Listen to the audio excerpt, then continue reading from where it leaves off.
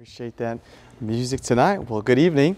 Great to see y'all here tonight. And I just want to say thank you so much to the Bachmans for having me over tonight. Really enjoyed uh, the meal and the fellowship. It was quite a blessing. Thank you so much. Your whole church has been very hospitable to me, and I really do appreciate that. And uh, just before uh, the preaching, I did have a couple of illusions here. Let me go and set this down for us. And uh, for this one here, I uh, you know, somebody, one of the kids this afternoon told me that they were sitting by their friend. I told them I was kind of jealous because I don't have one of those. But uh, so uh, since I don't, I kind of have to make them up. So.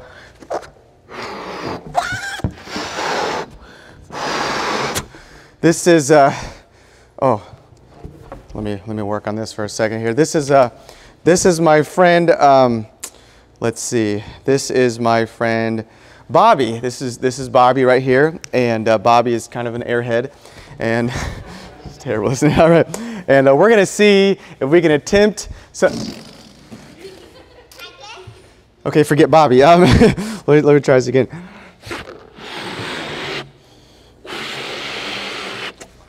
Oh, good. We can see that one better, anyways. Okay. Now, so this is not Bobby. This one I used to be able to tie my shoe, but I struggle sometimes doing that. All right. Get my finger out of there. Okay, good. This, oh, this is, oh, he, need, he needs a mouth. I forgot, forgot the mouth. This one is Blobby, is who this is. And uh, Blobby is kind of like some of you, half awake, half asleep. And, uh, but Blobby's going to try something impossible today. I'm going to see if I can make Blobby to eat my finger ring. All right, you ready for this? Blobby, open up. Guess we'll have to use force. Okay, ready? Here we go. Ready? Wait a minute. I don't know if you guys can hear it in the microphone. You can hear it? Maybe you guys in the front can even see it right there. Can you guys see that down there? All right. I'll, I'll try to wave. Sometimes you can see it flash in the light too. You see it? A little bit flashing in the light. It really is inside.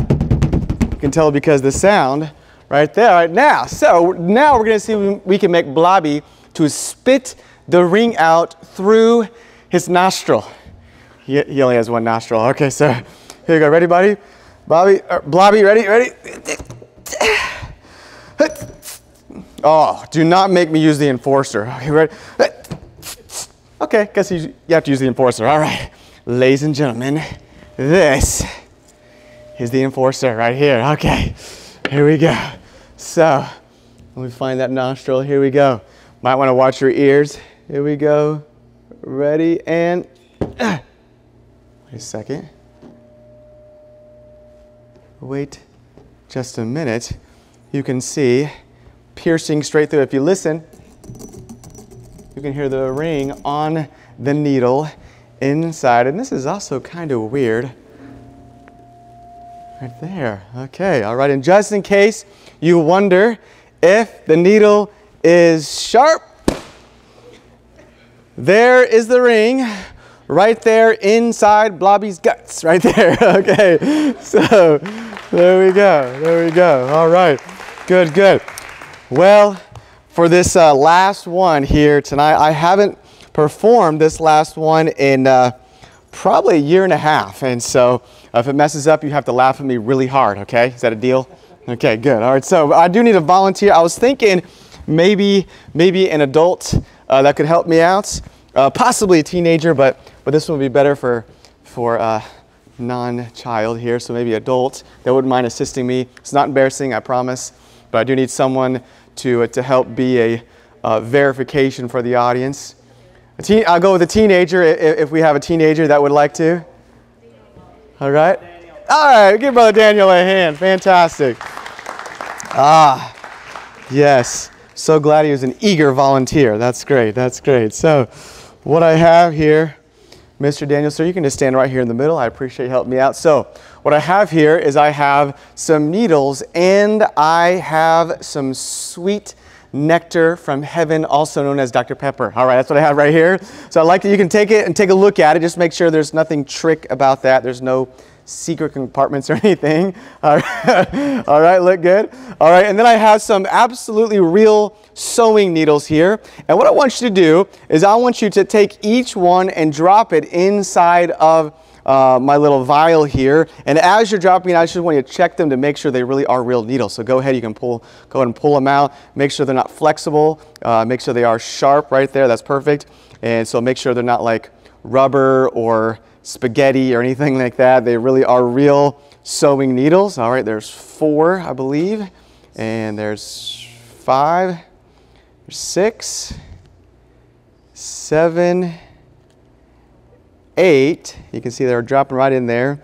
Nine, and last one there. And 10. Do they look good? All right, they were, they were real sewing needles. Is that correct? What's that? They're slowly dissolving. I, I think that's just the uh, carbonation gathering around them. All right. If they were dissolving, I need to learn that trick because that's really cool. All right. They really are in there. And, uh, and so I have that, and I also brought you something here as well. If you go ahead and turn that on, the buttons there on the end, fantastic. And uh, what I'm going to do here is something do not try this at home.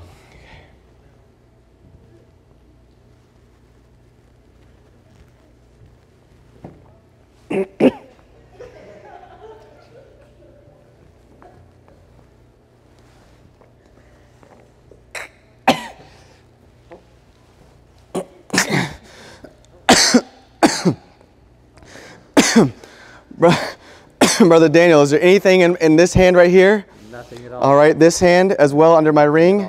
No needles anywhere. Would you check the vial as well? Make sure the vial is empty. Nothing. Okay, okay, great. So they're not stuck in there anywhere, correct? All right. Now I'd like you, and this is a little awkward, but I'd like you to check my mouth as well, all right? So I have a flashlight. Okay, here we go. Ready? I see one back there. you see one? All right, let me help you get that one down. okay. All right, no, seriously, anything above my tongue? Nothing. Anything under my tongue? Nothing. Bottom lip? Nothing. Make sure. All right. Top lip? Nothing. All right. Side right now? Right there? No. This side? No. They really are gone, right? I don't know where they went. Okay, they really are small. Give them a hand. Thank you so much. You can turn that off and set that down right there. I appreciate that very much. And so there's some people that have a uh, particular talent. Uh, I don't know, I can't remember exactly what they call themselves, but you can look it up. Basically, they're kind of like regurgitators, is what they are. They will, for example, some of them will swallow a bunch of coins and they'll say, Give me a number. And you'll say, 47 cents. And then they'll, they'll, they'll cough out 47 cents exactly. Now, I can't do that, uh, but I'm going to try a, a different version here tonight that I have called the human sewing machine. All right. So we got our needles there. Now we need a little bit of thread right here. It's kind of a sad way to make a living, isn't it? Let me speed this up.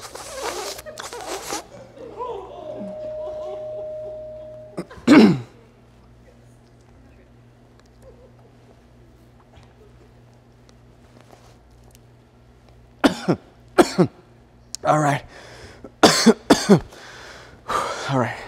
Music, please, Pastor. All right.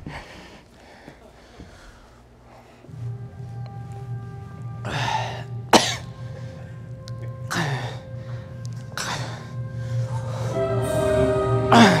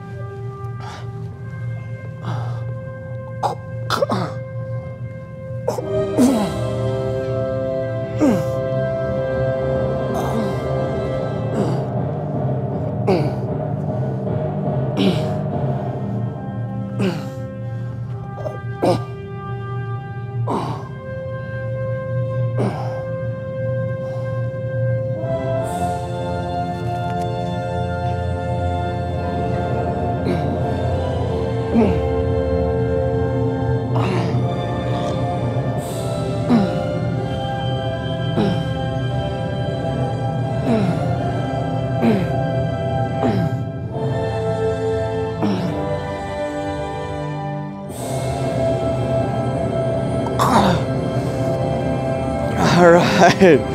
There we go. And uh, if you wanted to, you could come touch these. These really are real sewing needles, but I don't blame you if you don't want to. All right. So appreciate it so much, Pastor. Turn it back over to you, sir. Amen. Well, great, great music all week. Very God honoring music, and it's been a blessing to, to hear that. And I also want to say a word here uh, about the offering. I never know uh, in, who gives or, or, all that amount. The Lord knows that, but I just want to say I'm grateful. Thank you so much for your generosity to uh, my family and I. We really do appreciate it. We're going to be in Genesis chapter 50. Genesis chapter 50, last chapter in the book of Genesis.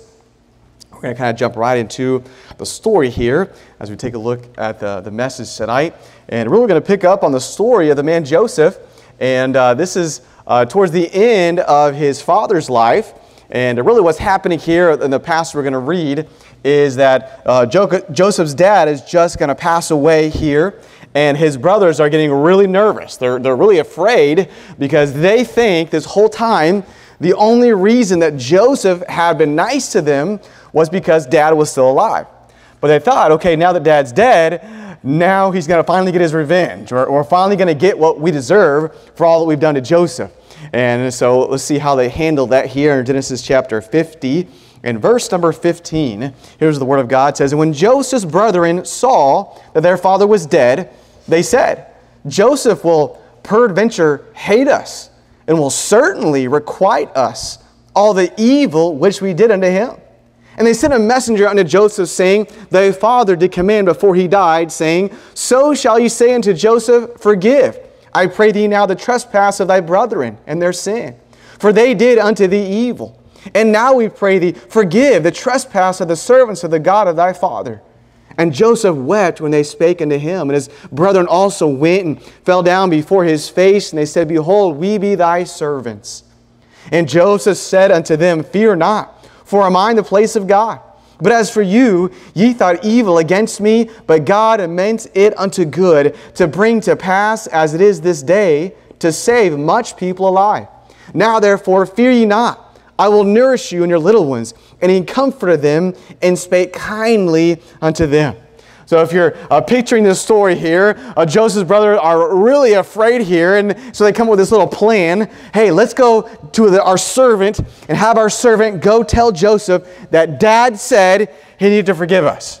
You know, as kids, right? Uh, uh whenever you put that little tag into something, hey, mom said, you better stop. Uh, Mom said you have to give that to me, right? So, so they say, we're going to try this. Put dad's authority behind us. So the servant goes in front of Joseph and he says, hey, your, your dad told you that you're supposed to forgive. And, uh, and uh, then uh, right after he finishes talking, the brothers come in there and they say, hey, uh, dad said that you know, forgive us. And then they come and they fall on their face before Joseph.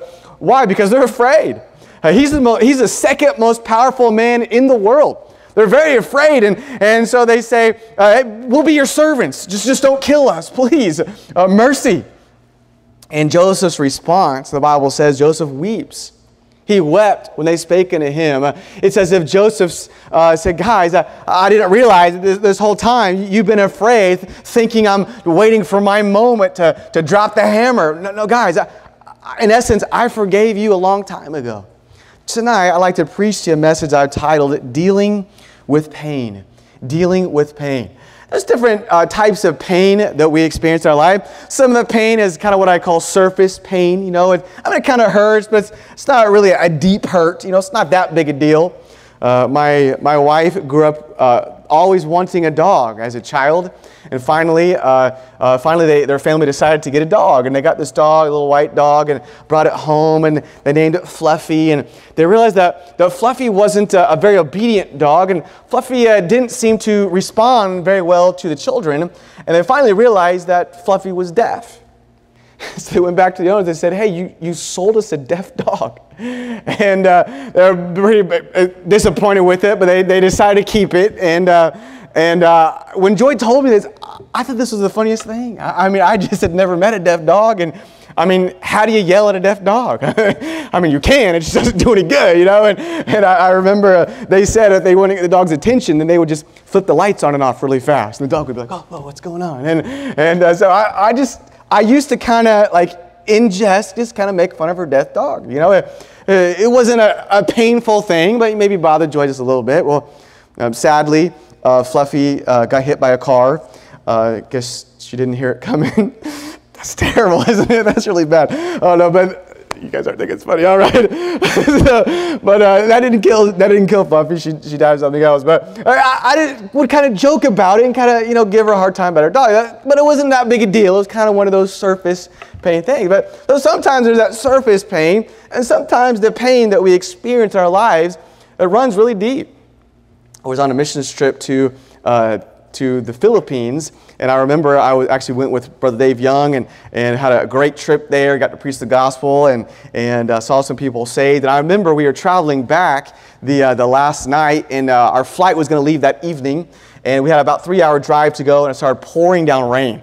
And, uh, you know, the, the road system there is, is nothing like America, so it really wasn't draining well for the rain. And so it was, it was pretty deep. And we could tell the missionary was, was kind of nervous because he's trying to drive in through, this, through the rain and through the puddles there. And, and he wanted, you know, to get the, get the pastors to the, uh, or to get the evangelists to the airport on time. And so we were trying to be kind of quiet in the back seat. But Brother Young says, hey, Dave, do you have any, uh, do you have any fingernail clippers?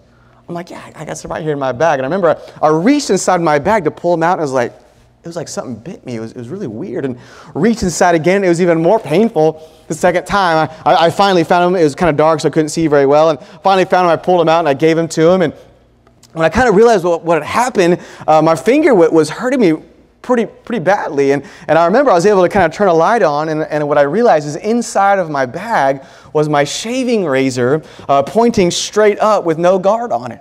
And so when I reached inside and I felt something bit me, it was the blades on my shaving razor. And, uh, and uh, the intense pain was, was the nerve that was sliced on my shaving razor. I remember I pulled it out I looked at it and, I, and, I, and I'm like, you know, again, I'm trying not to cause a scene for the missionary, and I'm like, you know, I'm like indicating the, the pain that's happening here. And, and, I, and I'm like, hey, I, I don't want to bleed on his car. Do you have something? And he, I'm hoping he had maybe a tissue. And he reached and he's like, he's like, this is all I got. And it was an alcohol swab. Well, I didn't want to bleed on the man's car. And so I remember I opened the thing up and I put that on. And I was like, I mean, that was some that was some serious pain. That was some intense pain that was happening there. And, and you see, sometimes the pain that we that we face is, is just surface pain, but sometimes there's things that we face in our life that the pain runs very deep. And I tell you, if we don't deal with that pain properly, it will cause great damage in every aspect of our life. We'll look at that tonight. And so I want to know tonight uh, the pain that we experience, how have you dealt with it? Are you dealing with pain the proper biblical way?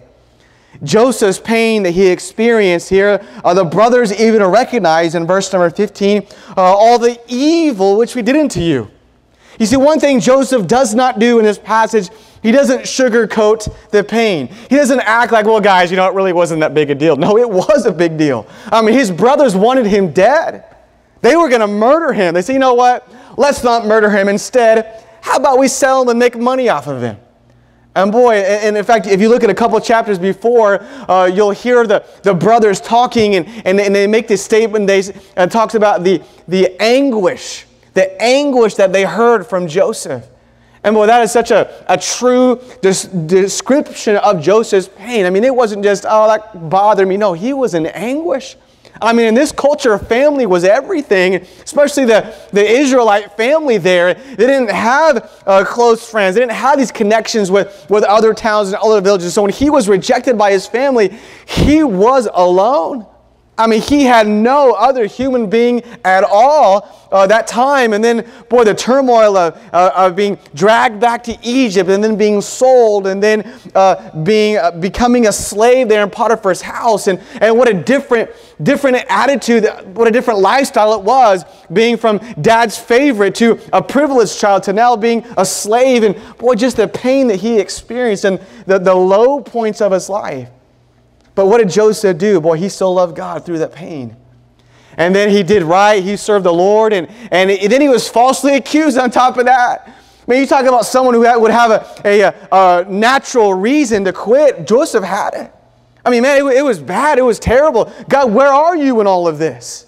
But Joseph didn't have that spirit. He still served the Lord. In fact, he was thrown into the prison, and in the dungeon there, the Bible says, two full years.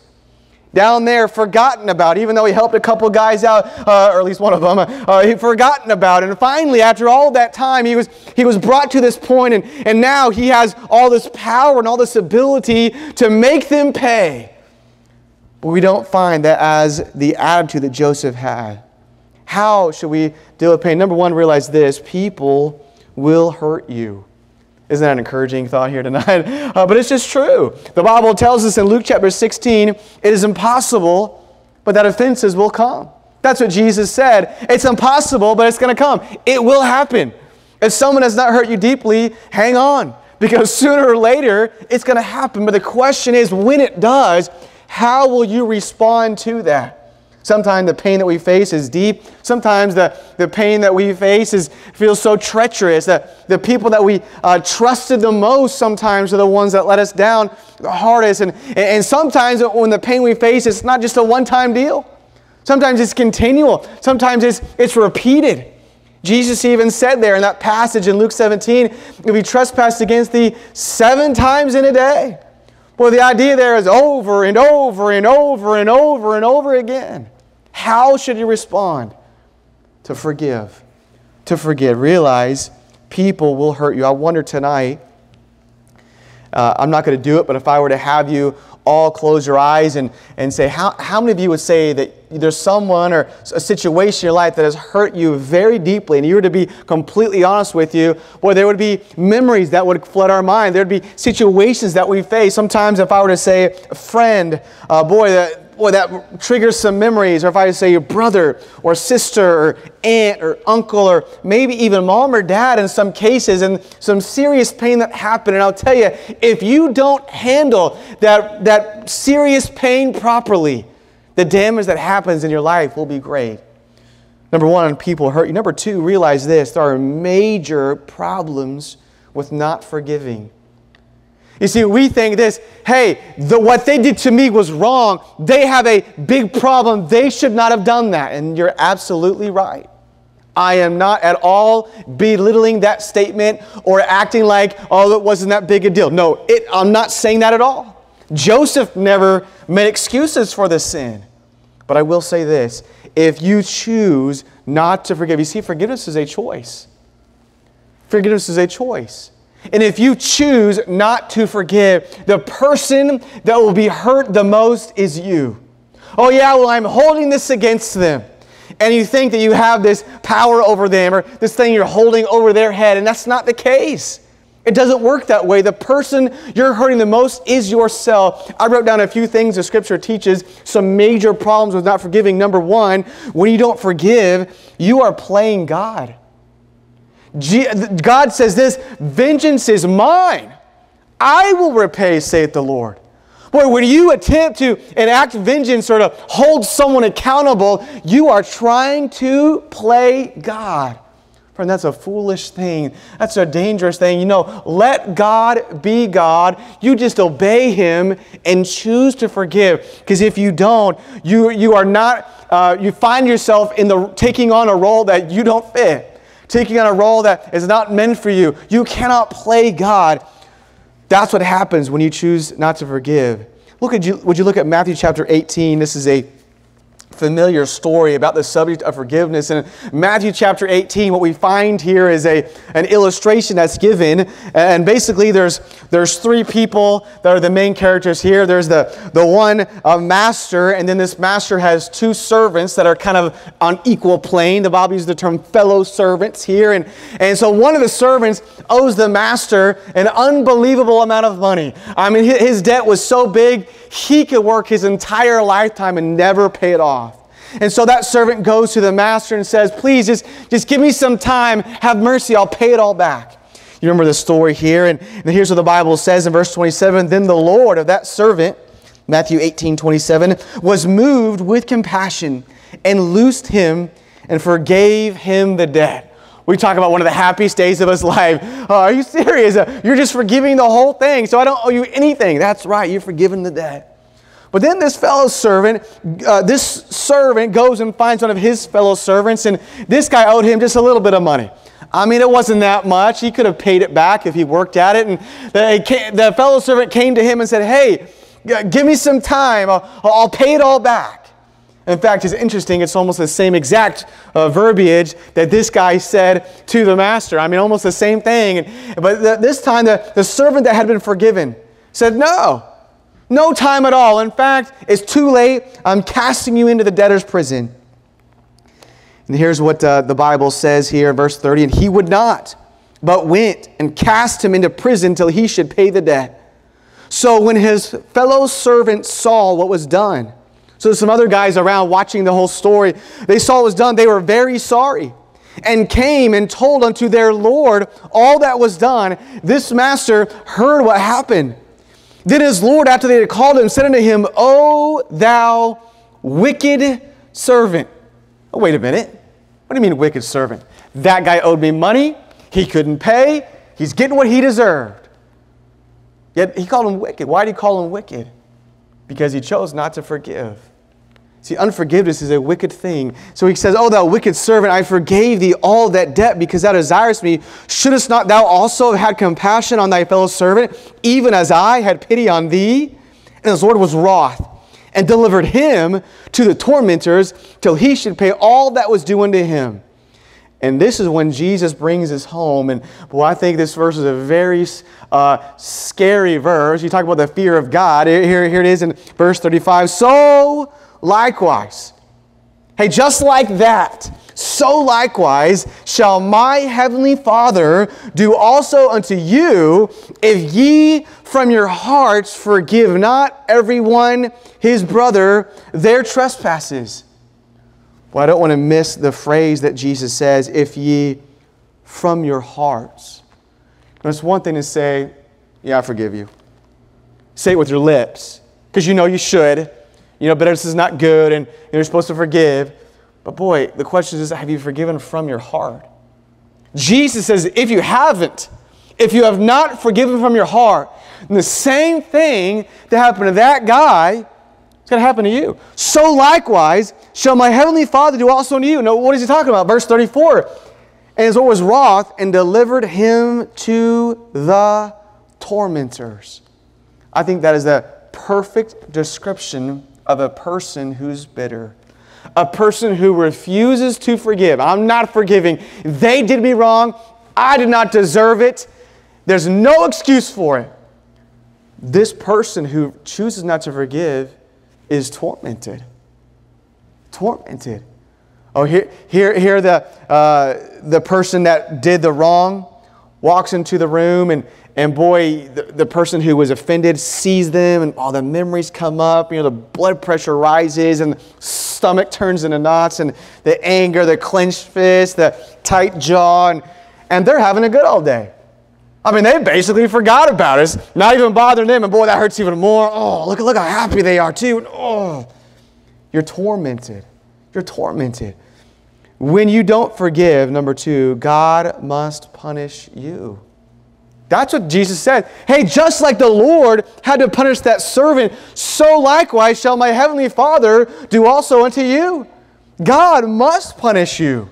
Why? Because unforgiveness is a sin. It is a sin that is a damaging, dangerous sin. It is a sin that, boy, really causes torments in your life. Friend, you don't want that.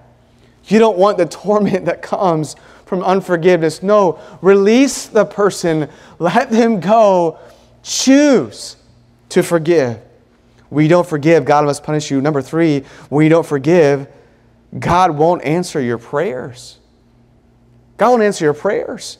In Psalm 66, verse 18, the Bible says, If I regard iniquity, regard has that hold on to. If I regard iniquity in my heart, well, when you hold on to that bitterness, you hold on to that unforgiveness, the Bible says, if I regard iniquity in my heart, the Lord will not hear me.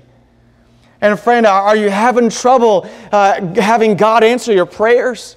Are you having trouble uh, getting through to heaven? Perhaps it is because there's some bitterness in your heart. In fact, in Mark chapter 11, Jesus very closely relates the concept of forgiveness and prayer. They are hand in hand. Even in the, the model prayer that God gives, He speaks of, hey, forgiveness, where the forgiveness ought to be a regular part of your prayer life. In Mark chapter 11, verse number 25, here's what the Bible says And when ye stand praying, forgive, if ye have aught against any. Well, I'm only going to forgive the people who I like. No. If you're going to pray, if you're going to stand there praying before God, forgive if you have aught. Uh, we mentioned that word the other day. That ought is there's something there. There's there's a situation there. There's a there's a bitterness there. There's uh, a burr in the saddle, if you want to call it that. If there's aught, uh, if you have aught against any, why?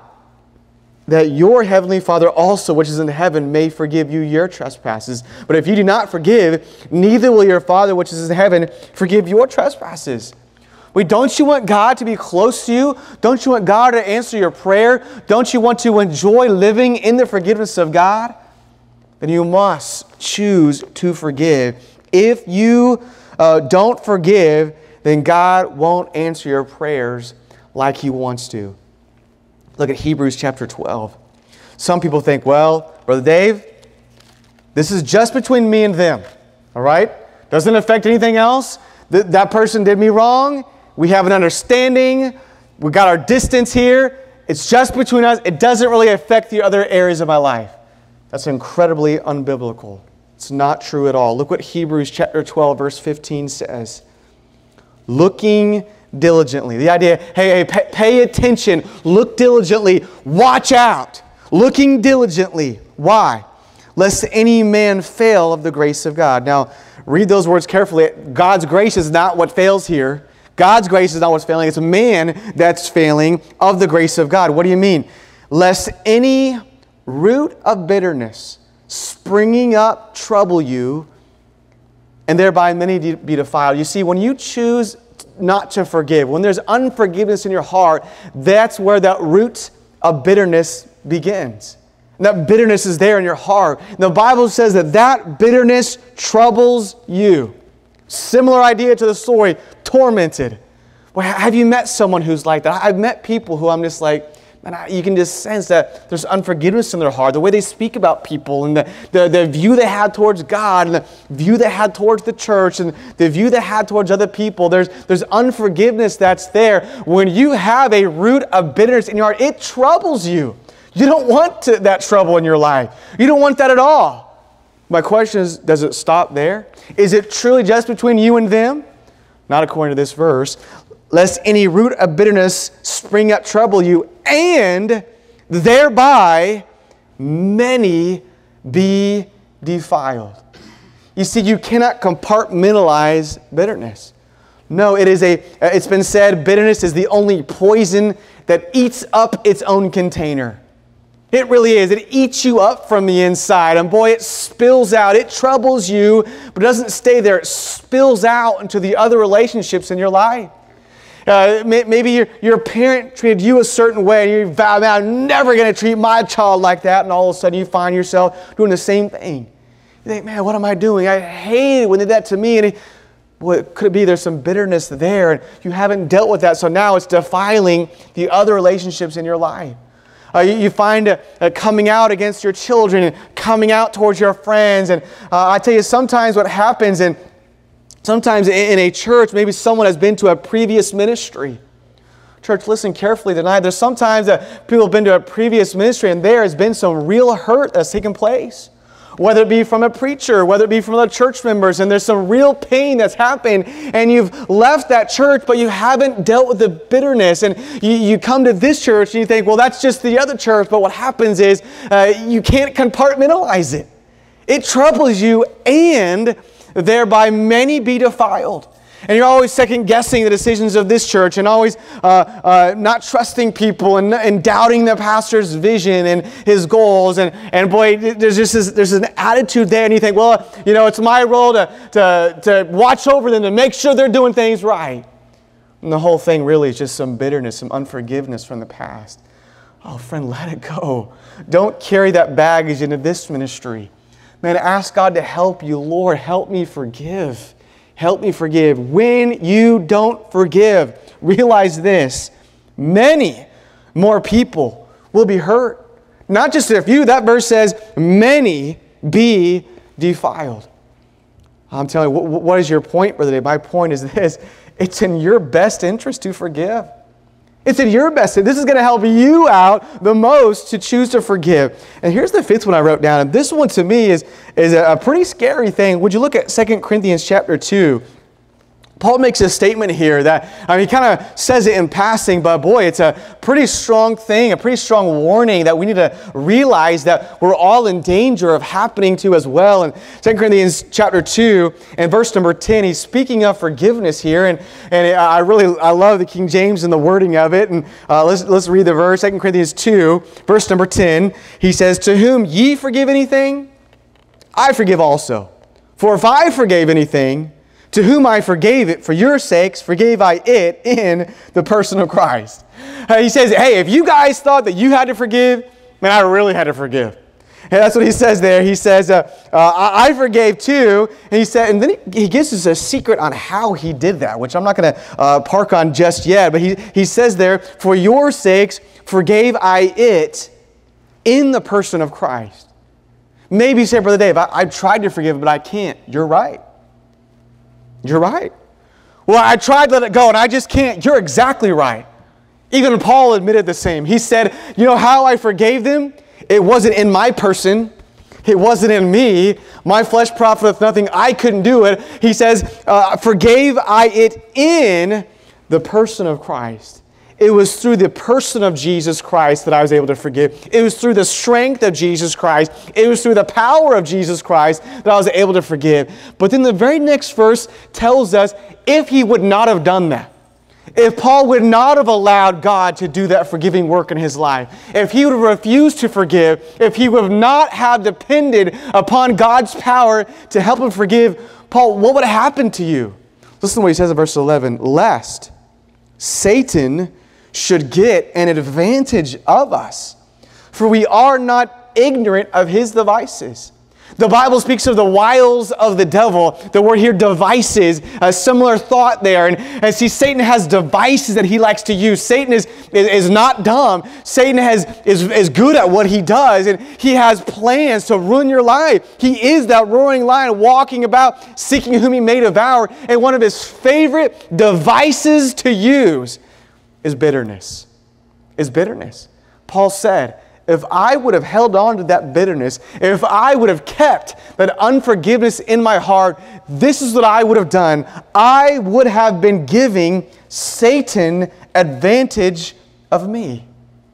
That word advantage means to put someone or something superior in your life. He said, If I would not have forgiven, I would have had Satan have authority and victory. And uh, one of the words the Bible talks about is ground or place. If, if you think of like a, your mind like a battlefield, and there's ground like, like an army taking over a battlefield and in areas and countries, your mind is that way. And he says, I would be putting Satan victorious in some areas of the battlefield of my mind. The Bible says, Let not the sun go down upon your wrath, neither give place, similar idea, neither give place to the devil.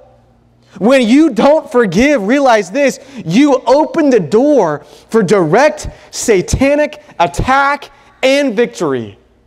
You are saying, Satan, I'm going to give you victory over an area of my life. Do you want that? Do you want Satan to have authority and victory in your life? Promise you, you don't. But if you choose not to forgive, that's exactly what you're doing. You are giving Satan advantage of you. The reason I went through these problems tonight is I'm trying to tell you it is in your best interest to forgive. Number one, people will hurt you. Number two, there are major problems when you choose not to forgive. And number three, I want to give you a plan to help forgive. I want to give you a plan to help forgive. And, and if, if you were going to talk to me and counsel with me about forgiveness afterwards, here's some of the, the steps I encourage you to take. And, and, I, and I don't want to, um, I don't want to, I want to encourage you throughout these steps. The whole key is in the person of Christ. In the person of Christ, not in your strength, in the person of Christ. One of my favorite verses is 2 Corinthians 12, verse 9. My grace is sufficient for thee, for uh, my strength, uh, for thy strength is made perfect in weakness. In weakness, he says, Most gladly, therefore, will I rather glory in my infirmities.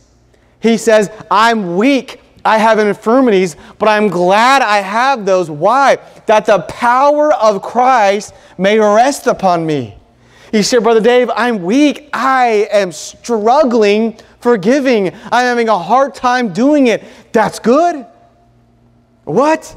That's good. Man, I feel like quitting. No, no, don't quit. Realize weakness is good because now that you're weak, now finally you can see God's strength through you. Paul says uh, that the power of Christ may rest upon me. Man, I like that.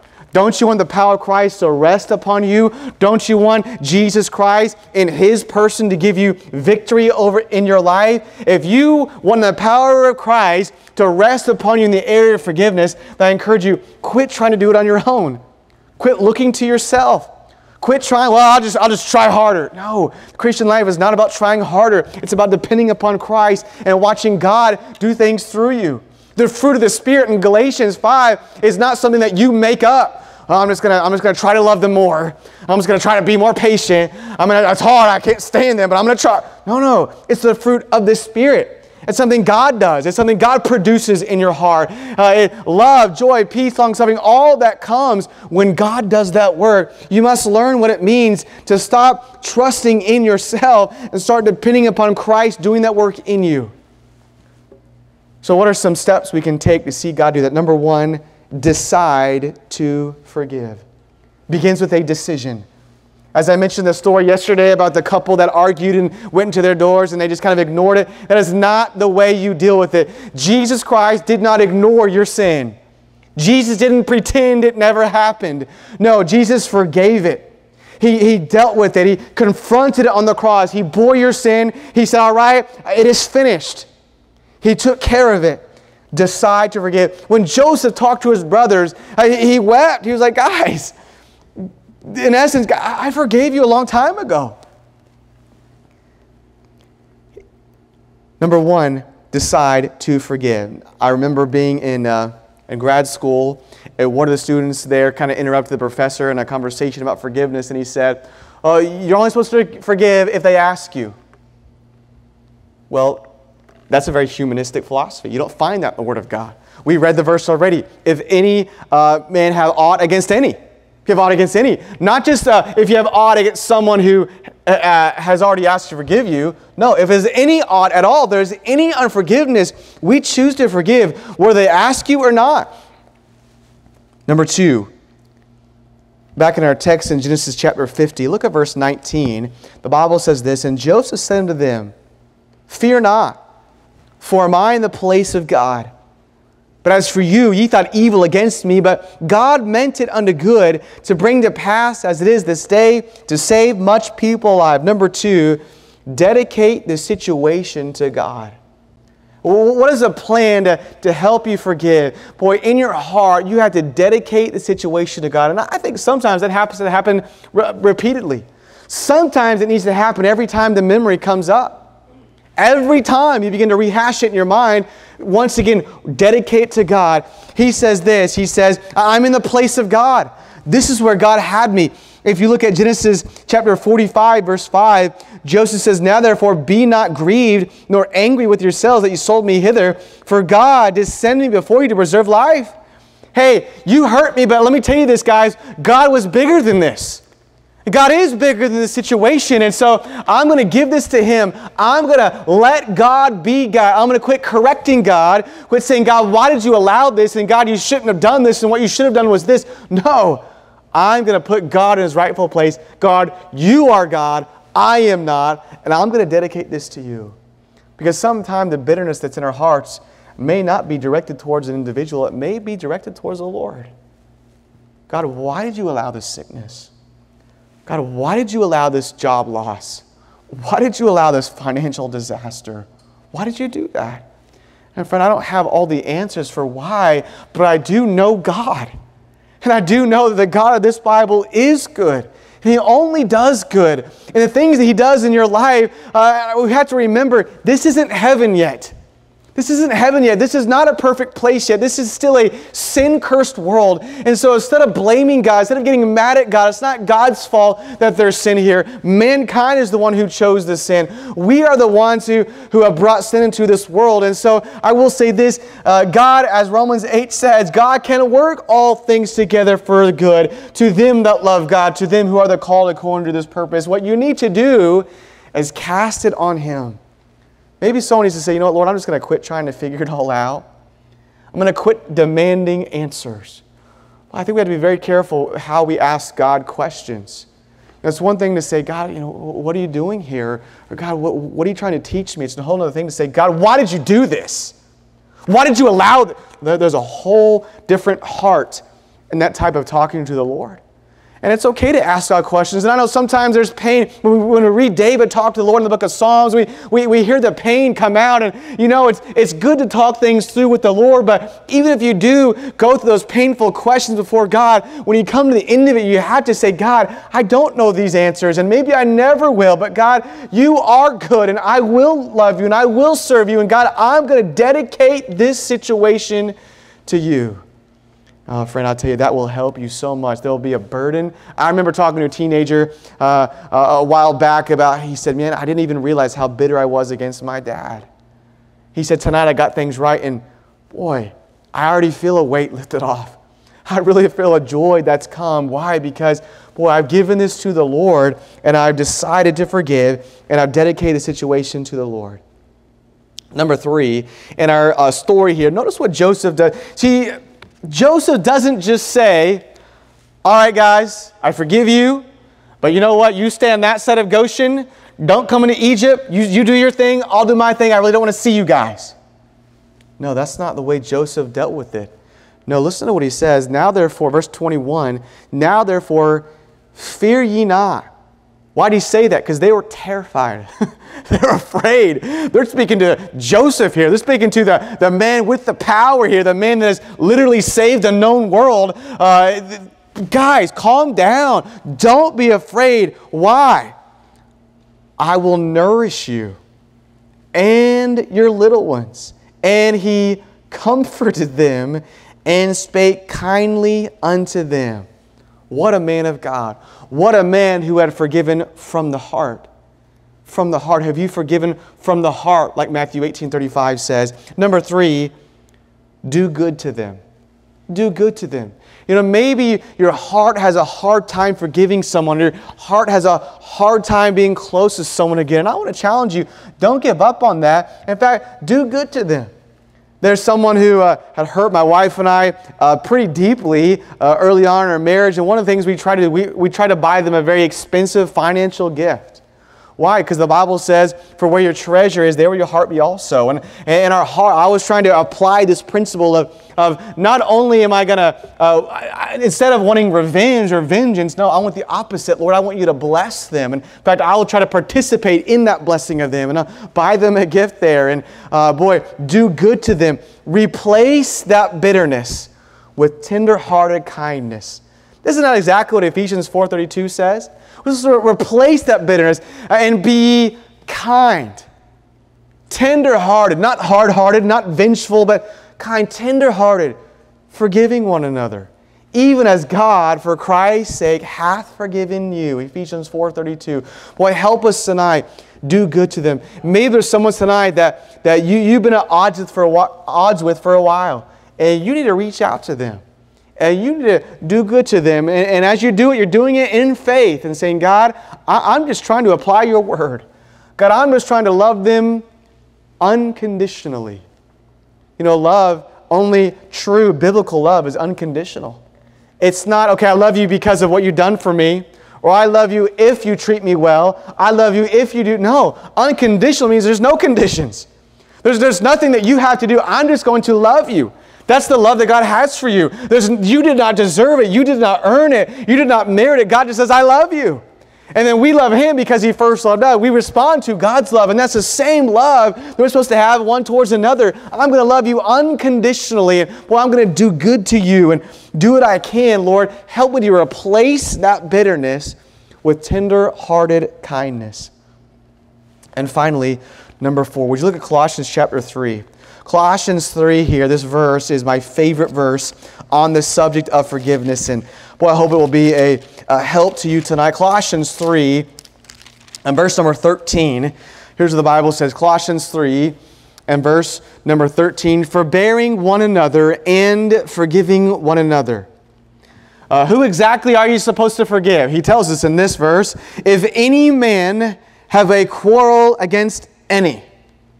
Hey, that, that, that's, that's everything, all right? There, there's, there's no, no one's excluded from this forgiveness. If any man have a quarrel against any, even as Christ forgave you, so also do ye.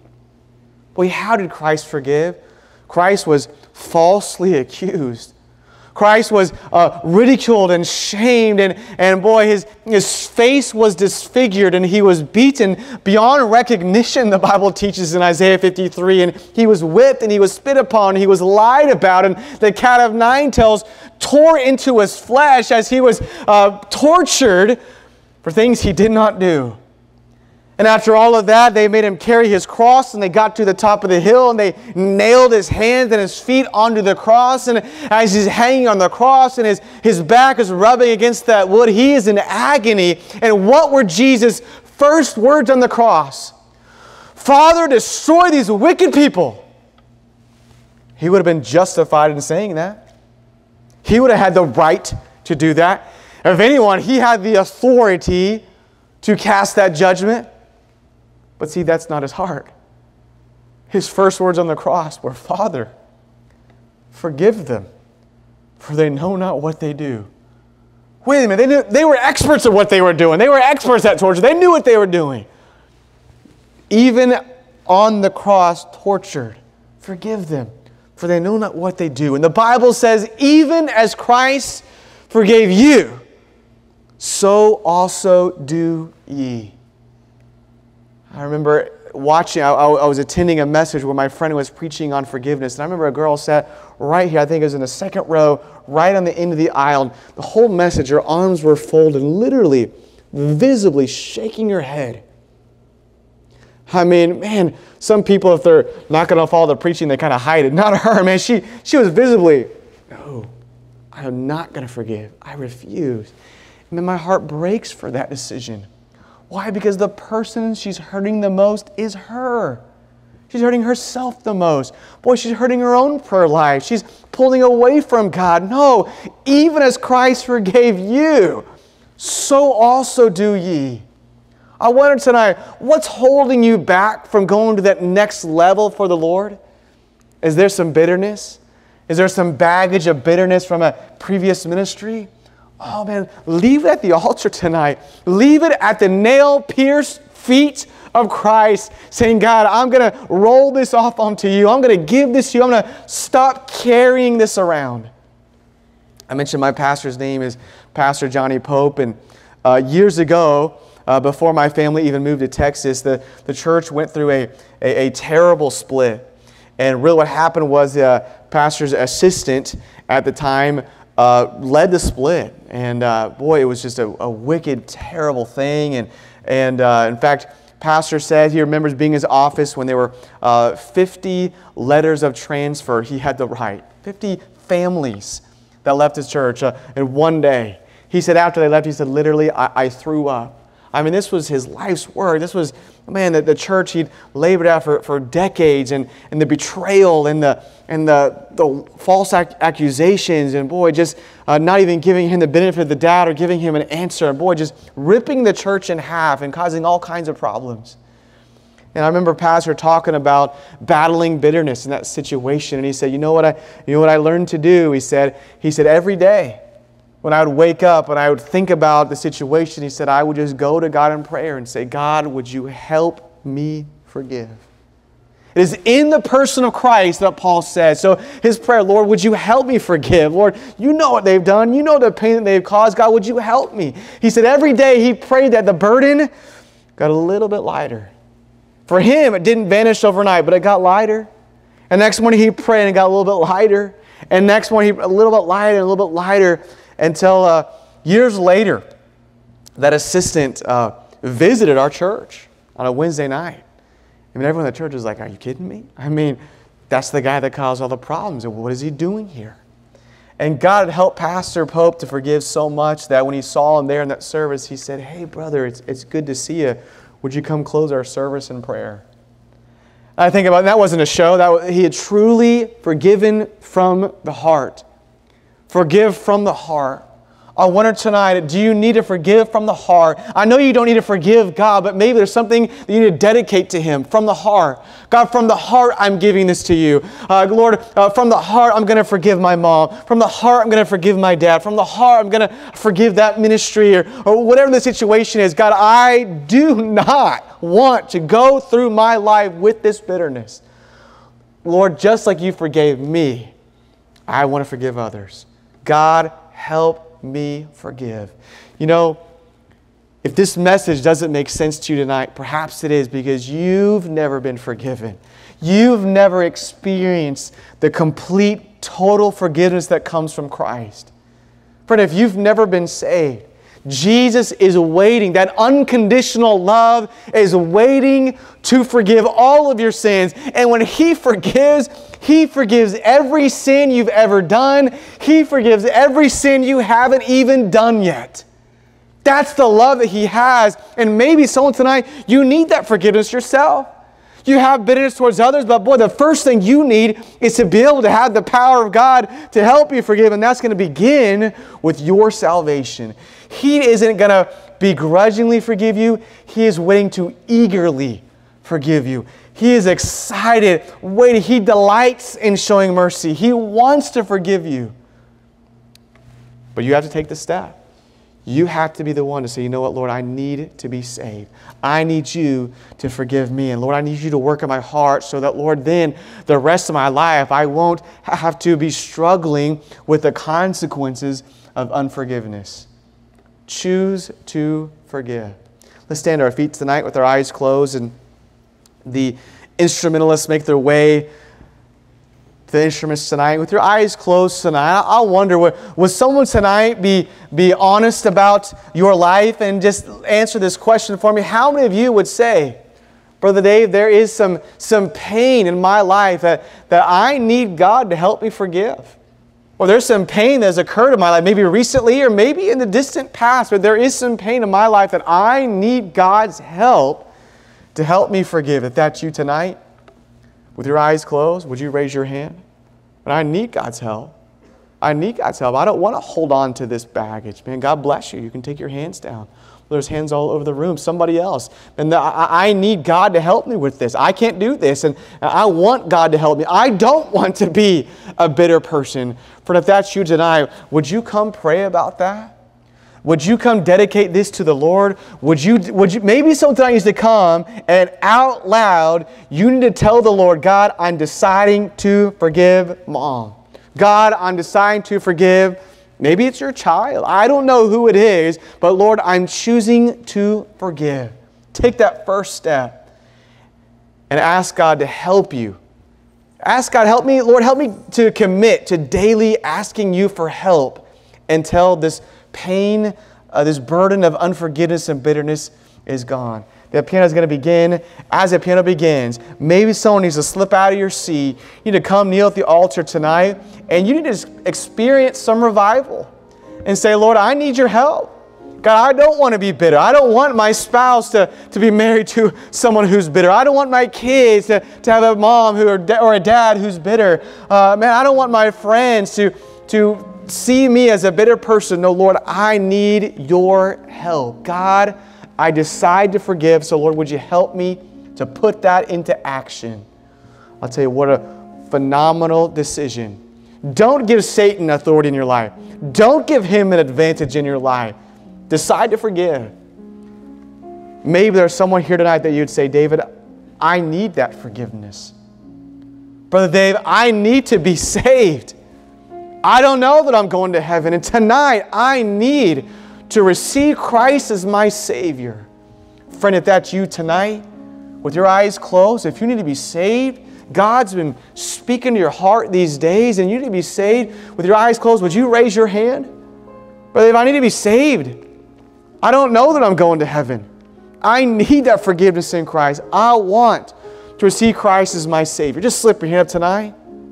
Anyone like that at all? Just raise your hand up.